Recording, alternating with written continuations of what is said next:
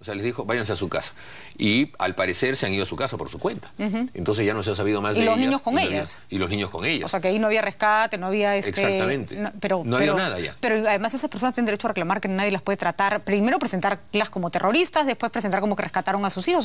Se- bueno, se- todo eso tendrá que ser la secuela de la investigación que se tenga que practicar de todas Oye, maneras. ¿no? habría que asesorar a esas mujeres para que pidan que además se les indemnicen, porque de verdad que a mí me da muchísima cólera cuando se...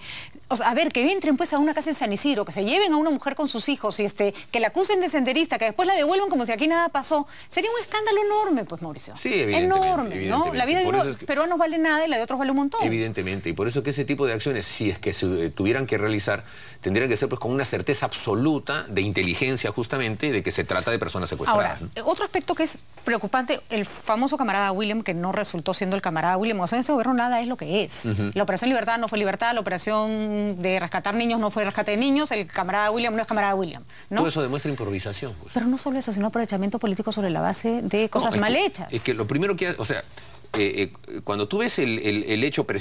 Esos tres hechos que tú mencionas han sido promovidos y presentados, puestos a conocimiento de la opinión pública por el gobierno. Así es. Por Nadie los descubrió, dijeron. la prensa no los destapó, no, Así ellos. Fue, fue el gobierno. Entonces, eh, y el gobierno lo hizo altisonantemente, con una cosa como diciendo, mira, qué éxito hemos tenido, impecable, etcétera, etcétera. Y cuando esas cosas eh, se hacen con ese fin, generalmente dejan ese tipo de huellas. Y entonces empieza la prensa, empiezan los familiares, empiezan los políticos, empiezan a preguntar, y entonces surgen una serie de, in- de- de irregularidades y se les revienta en la cara. ¿Por qué? Porque el objetivo de fondo no es combatir a Sendero.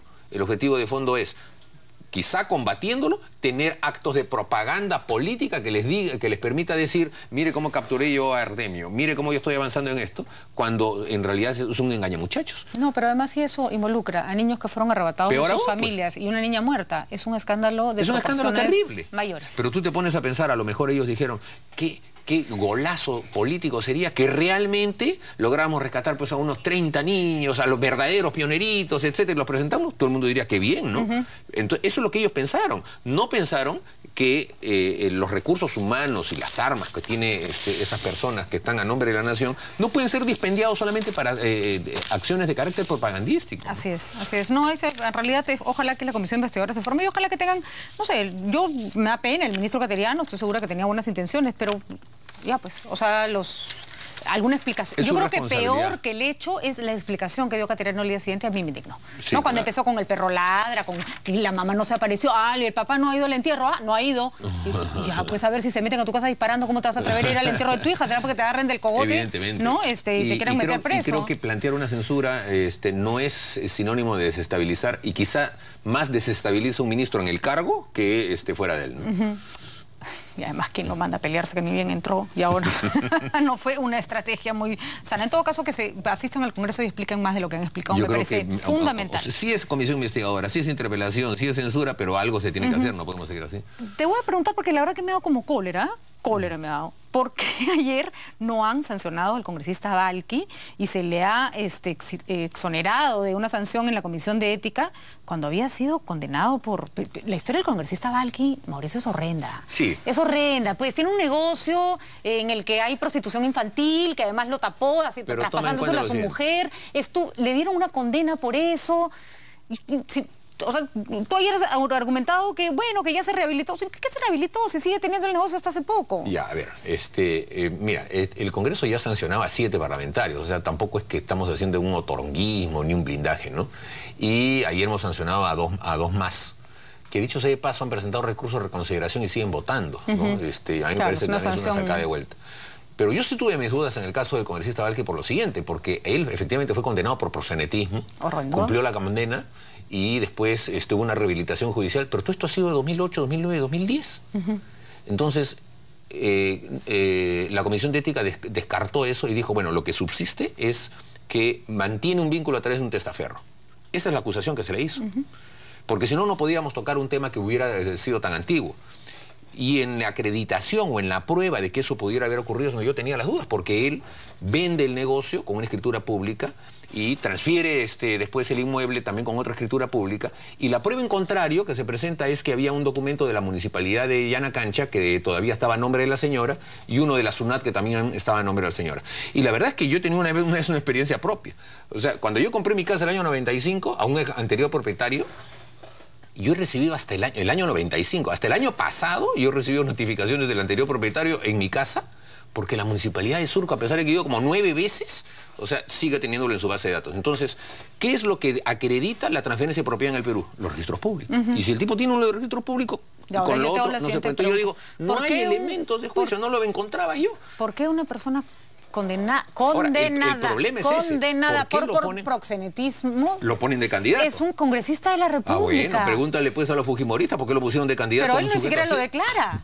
Es que como estaba rehabilitado, ya no estaba obligado. Y ese también es una falla de la hoja de vida Eso no está bien, porque yo como votante tengo derecho a saber eh, desgraciadamente, él quiere ser congresista y me va a representar, yo a mí no me da la gana de ser representado por un ex prosenetista, pues, ¿no? Exactamente, eso, eso es clarísimo. Pero legalmente, desafortunadamente, este, y el otro, el que, y el que mintió en su en que tenía títulos que no tenía. ah, no, pues, por ejemplo, en el caso de Pariona, él este, argumentaba que había puesto Universidad San Martín, pero como UN San Martín. Y como la Universidad San Martín de Porres no es UN, entonces no es una falsificación porque no existe la Universidad UN San Martín. O sea, o cosas como esa, ¿no? falsificó mal. Falsificó mal. Entonces, como falsificó mal, no es falsificación. el, el, abogado sostenía eso. Bueno, se le sancionó. En el caso de, de Ruiz, en el caso de Ruiz también hemos votado a favor de que se le sancione. Lamentablemente ha habido como un blindaje grande allí este, y no, no alcanzó los votos, pero él dijo que había estudiado en una universidad en la que no había estudiado que había tenido un título de que no tenía y además documentos en donde firmaba con este como licenciado economía y nunca ha sido ni bachiller ni nada, o sea, solamente fue estudiante un ciclo. Bueno, Entonces es lamentablemente Pero el jurado debería establecer este, un sistema por el cual esos que fueron elegidos así, después que salgan y que entre el accesitario, porque no tiene por qué usurpar un lugar una persona que le ha mentido hacia el país. No, yo estoy totalmente de acuerdo, mm. totalmente de acuerdo. Lamentablemente todavía hay vacíos legales que se aprovechan de estos resquicios y entonces entran estas personas. Pero una persona como cualquier otra que ha sido condenada, el responsable de haberlo puesto de candidato es el titular del partido político. ¿Cómo ponen a una persona así? O sea, ¿se les pasó? ¿No le preguntaron? ¿Nadie les dijo? Y entonces, eh, y, después entran al Congreso y los demás parlamentarios un poco como que asumimos la responsabilidad colectiva de todos ellos. No, no sé, yo creo que el señor con su con su eh, acusación de proxeneta también me lo hubiera volado. Pero en fin, ustedes, este, sus razones tendrán. ha, quedado un poco pésimo. Un poco complicado. Sí, me imagino que no, ha sido agradable. Se han sancionado a siete parlamentarios con 120 días y todavía hay como cuatro más pendientes por una sanción similar. Entonces, aparte de otras porque se están proponiendo del que marcó el voto. Bueno, y de ahora en adelante, Mauricio, que se sancione el partido. ¿ah? Porque que se sancione el partido, ¿no? Que se le quite la curul, que entre el otro. Exactamente. porque ya mucho, mucha es que dejadez. es que eso pasa por no poner personas que tengan trayectoria interna en un partido y que sean conocidos, sino que eh, se juntan ah. eh, faltando tres meses para las elecciones y dicen, oye, ¿tú quieres ser candidato? A ver cuánto pone, ese tiene plata. No, pues, ¿Cuánto hay? Eso es lo que pasa. Entonces, todos esos son los que han reventado. Claro, y los que tienen estos negocios tipo. No, robar, cables, un, prostíbulo, o este minero ilegal y ese tipo de cosas. Bueno, acá también hay una responsabilidad de las personas que, que en realidad podrían hacer país y que no se presentan en la política.